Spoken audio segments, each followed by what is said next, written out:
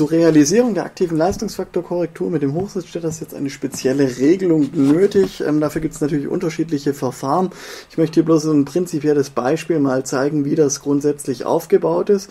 Das heißt, wir haben hier oben den Hochsitzsteller und unten jetzt mal den Aufbau, wie wir an dieser Stelle ähm, eine Regelung jetzt der unterschiedlichen Größen machen. Das heißt tatsächlich, von der Struktur her benötigen wir hier zwei Regelkreise. Wir benötigen einen inneren Stromregelkreis und einen äußeren Spannungsregelkreis. Das heißt, der Spannungsregelkreis wird den Strom im Eingang bzw. den Strom in der Induktivität von seinem Spitzenwert her so regeln, dass die äh, mittlere Ausgangsleistung für eine mittlere Ausgangsspannung UA sorgt, die dem gewünschten Wert entspricht. Typischerweise bei so ähm, Hochsetzsteller PFC-Schaltungen sind das 400 Volt, 380 bis 400 Volt, weil, wie gesagt, diese oberhalb äh, des maximalen Momentanwertes der Netzeingangsspannung sein muss. Das heißt, man kann sich so vorstellen, die äußere Regelschleife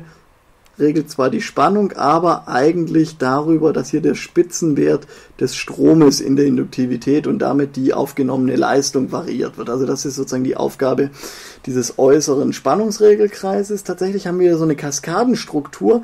Das heißt, wir messen zwar die Ausgangsspannung hier runter, das ist sozusagen der Ist-Wert, der Ausgangsspannung runtergeteilt über den Spannungsteiler, üblicherweise so von den 400 Volt halt im Bereich von wenigen Volt. Das wird hier verglichen mit der ähm, Referenzspannung, das ist der, der Sollwert. Dort haben wir dann einen I-Regler und dieser ist jetzt so langsam, dass er zwar im Mittel diese Amplitude regelt, aber die Ausgangsspannung darf nicht so schnell nachgeregelt werden, dass äh, wir die 100 Hertz Welligkeit hier am Ausgang ausregeln, weil es ansonsten zu einer Störung des Netzstromes kommt.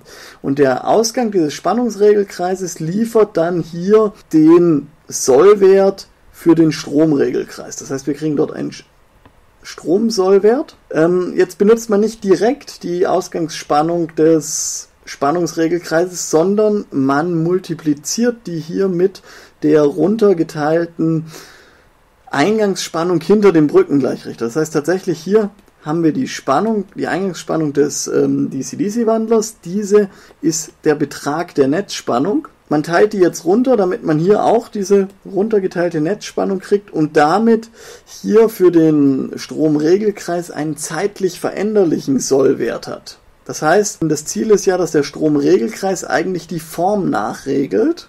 Deswegen ist der hier deutlich schneller ausgeführt. Das heißt, dieser Stromregelkreis soll in der Lage sein, für langsame Änderungen der Eingangsspannung ähm, während der Periode den Strom proportional nachzuführen und kriegt dann als seinen Sollwert, seine Referenzgröße hier deswegen ein von der Eingangsspannung abgeleitetes Signal, dessen Amplitude aber abhängig ist von der äh, benötigten Ausgangsspannung. Das heißt, wenn hier am Ausgang die Ausgangsspannung zu niedrig ist, wird der Spannungsregler die Spannung erhöhen. Damit wird sozusagen dieses Referenzsignal amplitudenmäßig größer, aber die Form des Referenzsignales wird abgeleitet von, äh, von der sinusförmigen Eingangsspannung und damit wird auch vorgegeben, wie dann dieser Stromregler nachregelt und dieser Stromregler misst dann hier den Strom in der Induktivität. Hier so ein Beispiel, wie man das machen kann, indem man im äh, rückfließenden Kreis, also in der Rückführung, den Strom messen kann durch einen Strommesswiderstand, weil tatsächlich hier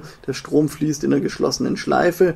Ähm, egal, ob er die, über die Diode fließt oder über den Transistor, er muss hier zurückfließen. Das heißt, der Strom IL, der hier unten fließt, ist der gleiche, der dort oben fließt. Dieser wird dann verglichen an diesem inneren Regelkreis mit der veränderlichen Referenz. Da haben wir sogenannte Folgewertregelung, das heißt hier ähm, ändert sich der Wert äh, zeitlich und danach wird sozusagen das PWM-Signal über einen PWM-Komparator beispielsweise erzeugt.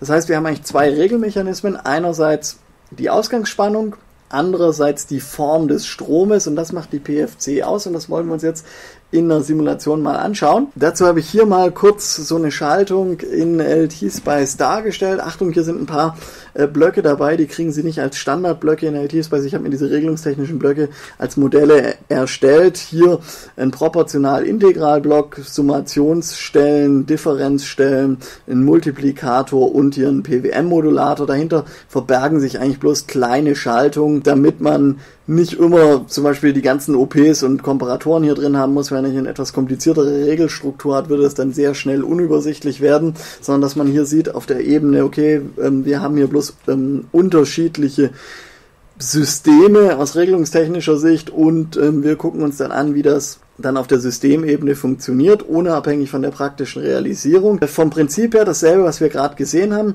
Ich habe einerseits eine Strommessung, andererseits eine Spannungsmessung.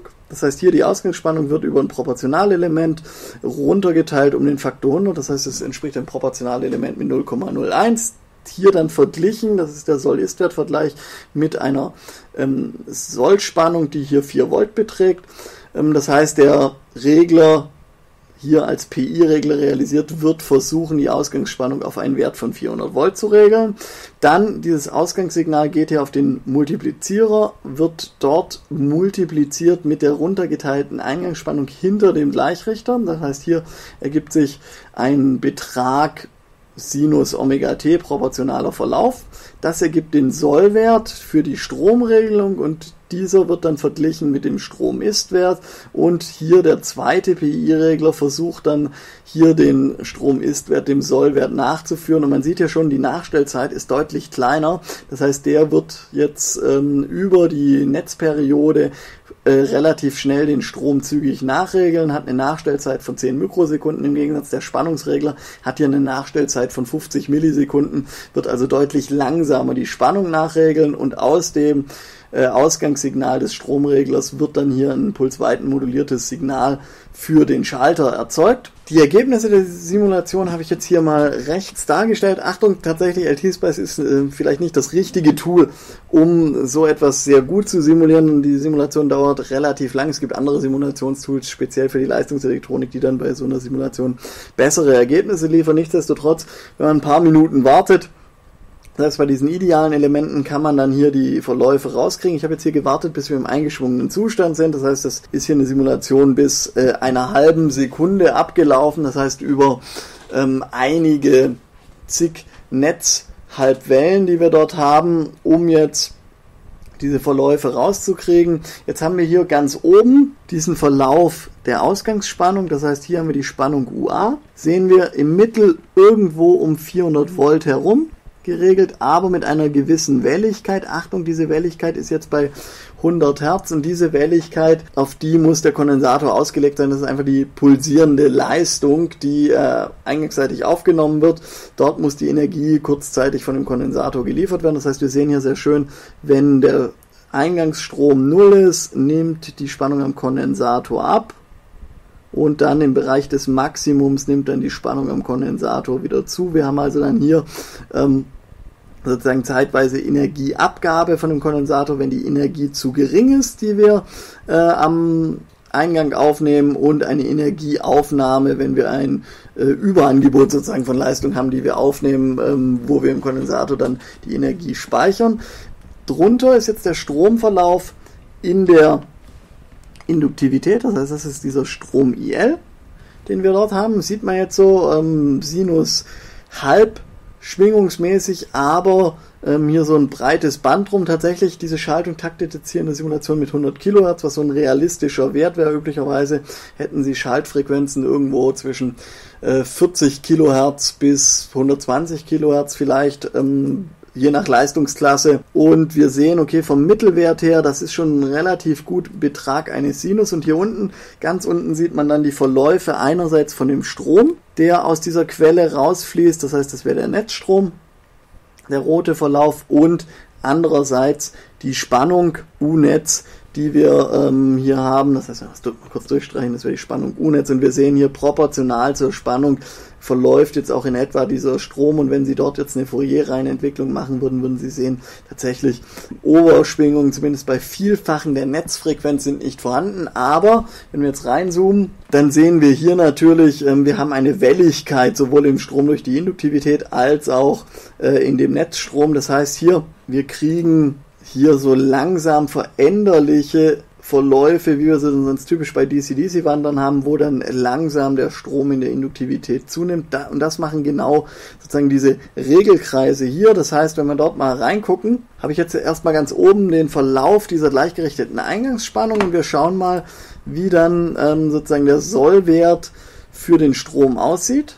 Das heißt, messen wir hier, sehen wir runtergeteilt, der Stromsollwert hat einen proportionalen Verlauf dazu und der Ist-Wert wird jetzt nachgeregelt, dass die Differenz, natürlich wenn wir einen PI-Regler haben zwischen Soll- und Ist-Wert, idealerweise verschwindet. Und wir sehen dann hier, okay, der Sollwert, den wir dort rauskriegen, gibt letztlich den langsam veränderlichen Mittelwert des Stromes durch die Induktivität wieder, weil der Strom durch die Induktivität, hier der, der Ist-Wert, letztlich ähm, bloß der Betrag des Eingangsstromes ist, wird deswegen auch der Mittelwert des Eingangsstromes hier einem Sinus folgen, obwohl tatsächlich diese höher frequenten Anteile in dem Ist-Wert dann natürlich vorhanden sind aufgrund der Schaltvorgänge, die wir dort haben. Das ganz kurz ist die grundsätzliche Funktionsweise einer aktiven Leistungsfaktorkorrektur mit einem Hochsitzsteller, so die Prinzipschaltung, die heutzutage relativ häufig eingesetzt wird, wenn Sie einphasige Verbraucher haben, die Sie äh, ans Netz schalten müssen und verhindern müssen, dass der Strom